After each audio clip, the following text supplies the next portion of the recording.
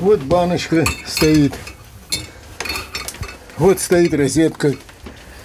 Я включаю, зажег. Вот все, все конфорки горят. Голубое топливо вернулось в квартиру Саниных спустя месяц. Тайм-аут по газу пришлось взять в марте после инцидента с утечкой в соседнем доме, где одна из жительниц едва не погибла от отравления угарным газом. У меня закружилась голова, вот я потеряла сознание.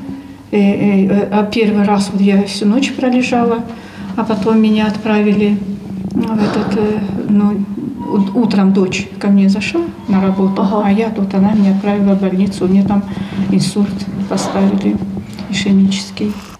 Газовщики во избежание трагедий перекрыли топливо в трех многоквартирных домах, где зашкаливал уровень вредных веществ. В результате многие жители около месяца не могли нормально вскипятить чай и приготовить еду.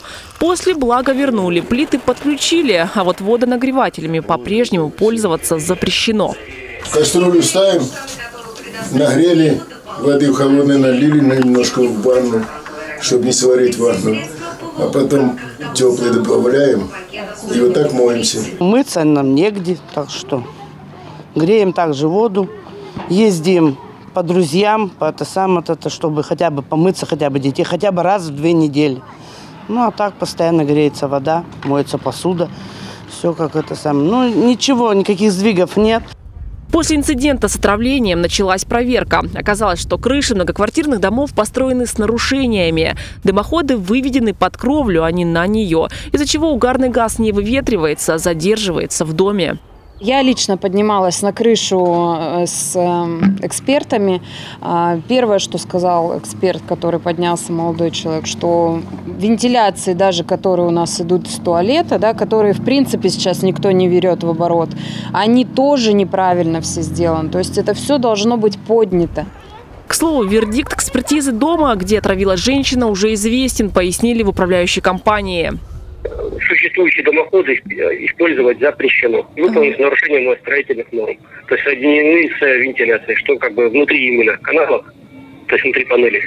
Э, Что, я говорю, по нормам, по всем строям, то есть э, запрещено, потому что угарный газ попадает э, именно в вентиляцию. Можно ли сделать дымоходы каким-то альтернативным способом или нет, должны решать специалисты. Вот только браться за реконструкцию никто сейчас не готов, пояснили коммунальщики. Мы обращались к проектировщикам, они браться отказались. То есть поэтому мы на сегодняшний момент попросили Первомайскую администрацию, чтобы они подключили уже Минстрой и попробовали уже ну, на своем уровне найти специалистов. В подвешенном состоянии остаются еще две многоэтажки. В конце недели должно прийти экспертное заключение. Если кровли официально признают небезопасными, то где гарантия, что будет желающий взяться за их ремонт? Но пока решается вопрос, жителям приходится терпеть крайние неудобства. Как вот 80-летний человек с кастрюльками будет туда-сюда бегать, а если он ходить не может? Но об этом никто не думает. Они вот сделали галочку, поставили, уехали и забыли благополучно. Валентина Аскерова, Андрей Печоркин. День с толком.